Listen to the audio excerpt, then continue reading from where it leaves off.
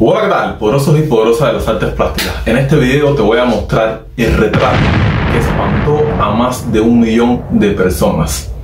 Pero eso no es todo. A partir de ese momento, muchos artistas empezaron a generar dinero en todas las ferias de arte. Pero eso no es todo. Te voy a mostrar cómo hacerlo y lo que más sorprendió a las personas fue de qué manera se hizo, con qué materiales. Y aquí están los materiales.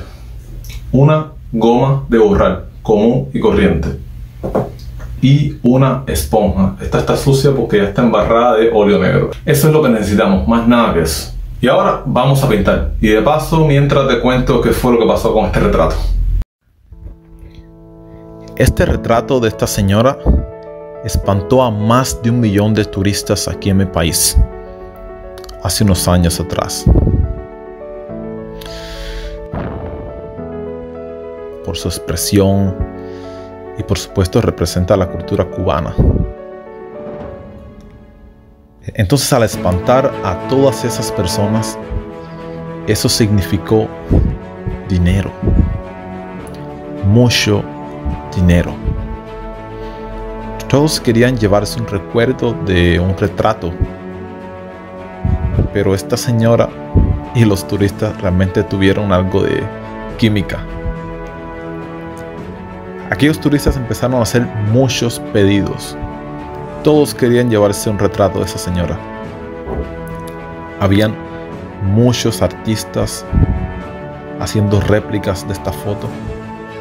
Aquí ahora me ves dibujándolo a mano, pero ya yo tenía ya muchas plantillas para emplantillar directamente en el lienzo para que me diera tiempo, porque no daba abasto yo solo para toda la cantidad de pedidos que teníamos todos los artistas en la feria.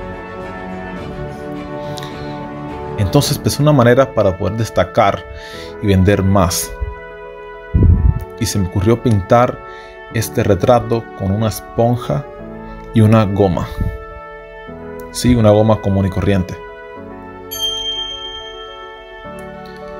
Lo estaba pintando en vivo, delante de todos los turistas, pero yo lo vi tan simple como, bueno, solo tengo que cubrir con la esponja saco luces con la goma y para hacer los medios tonos entonces tengo que presionar más con la esponja para de esta manera limpiar con la esponja y entonces me quede ese plano limpio pero yo me preguntaba ¿quién iba a pensar que el óleo se puede borrar con una simple goma? que en este caso yo la utilizaba para sacar luces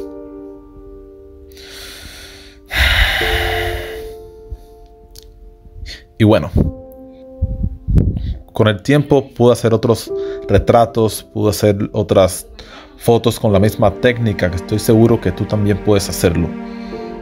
Házmelo saber en los comentarios y te haré tutoriales paso a paso de cómo puedes desarrollar esta técnica. Además, esta técnica es muy ahorrativa. Fíjate que no tienes que gastar casi materiales porque lo que hago es restregar con el pincel y tratar de regar ese óleo negro sobre todo el lienzo e ir limpiando y construyendo.